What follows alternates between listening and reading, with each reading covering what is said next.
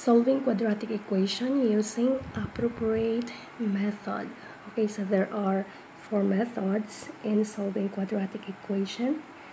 We have the zero factor property square root property completing the square and using quadratic formula.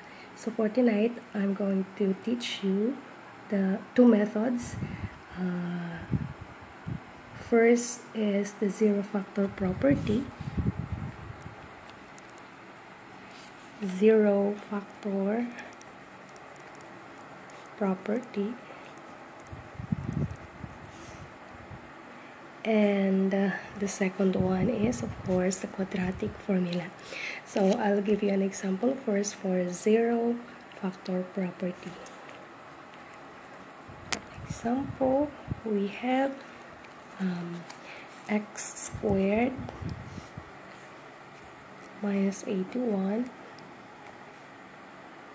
is equal to 0 okay so in here of course we need to learn first how to factor polynomials.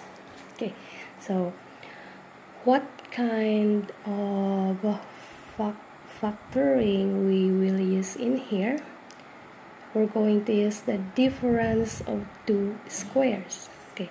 So difference of two squares.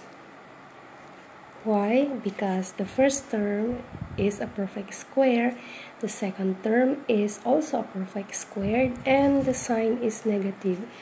If you see a polynomial like this then and you need to factor it out always use the difference of two square okay? So the factor of x squared is x and x. The factor of 81 is 9 and 9 of course their sign is positive and negative. Why? Because negative positive 9x minus negative 9x is equal to 0 that's why we do not have the middle term okay so since we have already we already factored uh, x squared minus 81 then next is we're going to equate the two factor numbers with 0 so x plus 9 is equal to 0 and x minus 9 is equal to 0 therefore x is equal to transpose positive 9 over equal sign becomes negative 9 and transpose negative 9 over equal sign change the sign becomes positive 9 we can say therefore that okay our solution the solution for the equation is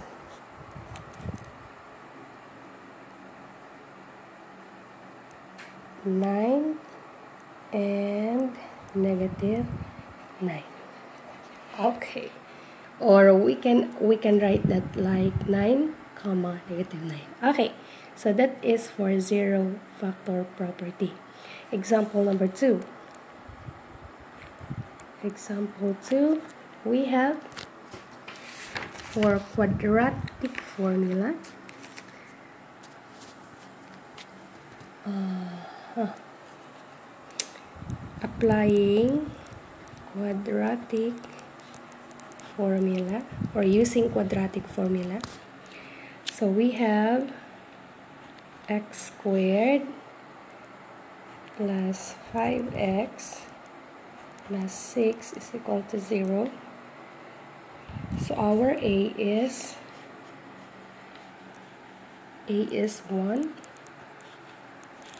B is 5 and our C is 6 okay then using the quadratic equation our quadratic equation is x is equal to negative b plus minus square root of b squared minus 4ac all over 2a.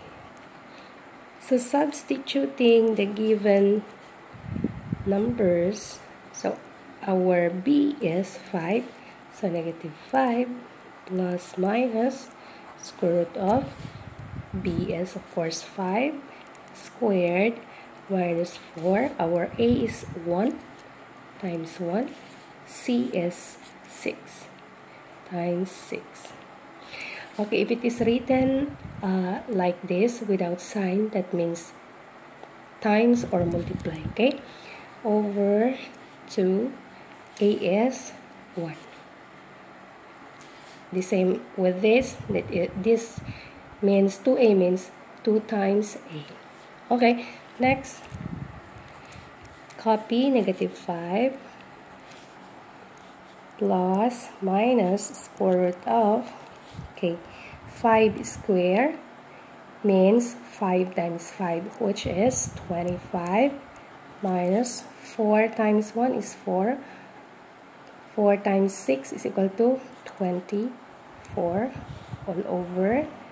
2 times 1 is 2 okay next negative 5 plus minus square root of 25 minus 24 is equal to 1 over 2 is equal to of course uh, we have now the final answer of mm -hmm. do we have the final answer okay so negative 5 plus square root of 1 all over 2 and negative 5 minus square root of 1 all over 2. So we separate plus and minus. So this is plus, this is minus. Remember guys that negative 5 plus square root of 1 is equal to 1 over 2. Then negative 5 plus 1 that is considered as unlike sign unlike sign. So we're going to copy the sign of the bigger value which is negative and then subtract the numbers so 5 minus 1 is equal to 4 all over 2 and negative 4 divided by 2 is equal to negative 2 okay and for the second one we have here negative 5 minus square root of 1 is 1 over 2 since they have the same sign copy the sign and then add the value 5 plus 1 is 6 divided by 2 6 divided by 2 is 3 negative divided by positive is negative. So our x is 3 okay therefore oh sorry. Therefore the solution set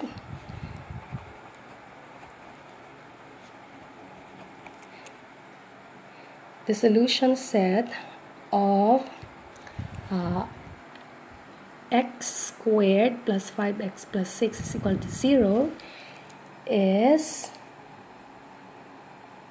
negative 2 and negative 3 so negative 2 negative 3 okay easy right? Okay so that's how um, we are going to solve quadratic equation or solution set of a number using quadratic equation and zero factored form. Okay guys i hope you learned something from this video. And if you do please subscribe for more uh, coming videos. Thank you and keep safe